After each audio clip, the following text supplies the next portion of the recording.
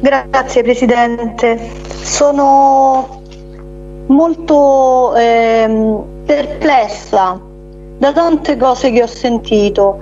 Mi, eh, mi lascia perplesso il punto di vista di determinati schieramenti politici che in, in questo contesto eh, portano avanti discorsi ancora ghettizzanti che sono previsti in altre delibere, sempre eh, regolamenti su questa materia e, e mi lascia anche perplesso il fatto che queste stesse forze politiche si vantino di, eh, di essere, eh, che, che, sia merito loro il fatto che siano state eh, sgomberate delle persone. Penso che sia ehm, è una cosa che mi fa inorridire, scusate, ma proprio a pelle io queste cose non, non ce la faccio a sopportarle. E mi domando se queste persone riescono riescono a volte a immedesimarsi. Noi non scegliamo mai dove nasciamo, noi nasciamo in un posto e viviamo in quel posto.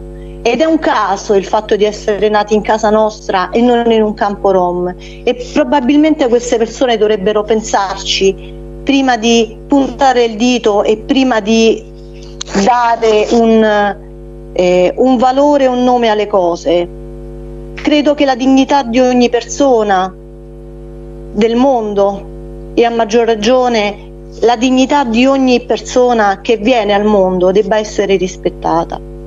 Io ringrazio nuovamente i proponenti di questa, di questa delibera per aver portato la possibilità di, eh, di alzare il, il, livello della discussione, di poter eh, affrontare finalmente a viso aperto questa, questa problematica. Ciononostante io eh, rilevo che tutto quello che loro eh, chiedono con questa delibera già è previsto nella delibera di chiusura dei campi Rom, che, lo ripeto, non è scolpita nella pietra, mano a mano che ci sono delle modifiche da fare, degli aggiustamenti da fare, questa, questa delibera viene modificata ed aggiornata.